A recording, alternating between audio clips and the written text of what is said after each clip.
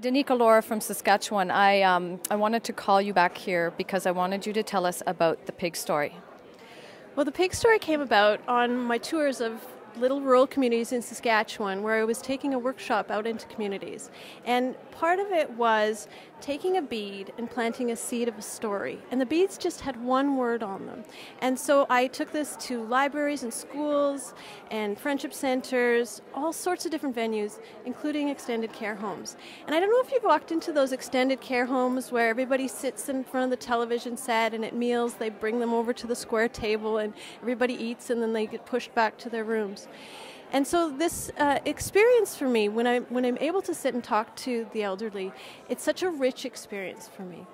And during this one afternoon, I had an elderly a elderly gentleman sitting at one of the tables, and he he took a bead, and he looked at that bead, and he was fairly quiet for a while. And with the beads, we recall memories or things in our imagination, stories that we tell each other.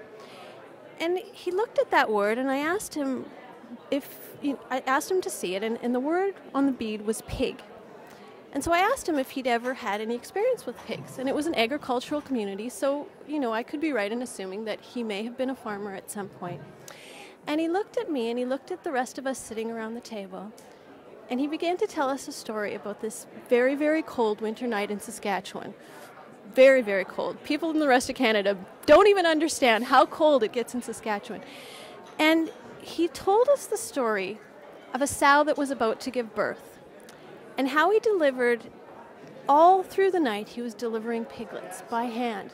So he would deliver a piglet and he'd take the piglet to the to suckle and then he'd wrap the piglet in a blanket. 16 piglets were born that night. And he, he just he just told us the story. And he told us that out of all the sows that he had, that was probably the only one that he would have been able to get into the pen with because her demeanor was just so calm. But he saved all of those little piglets.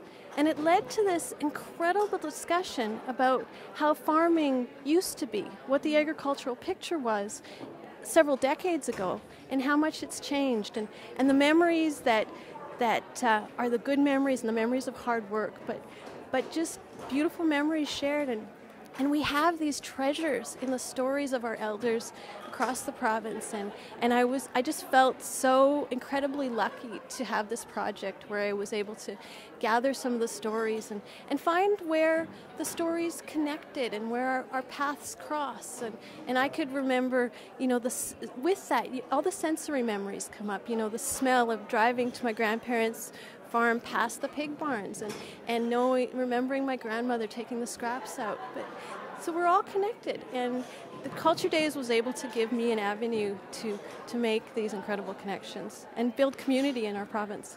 Thank you so much for telling that story. Thank you.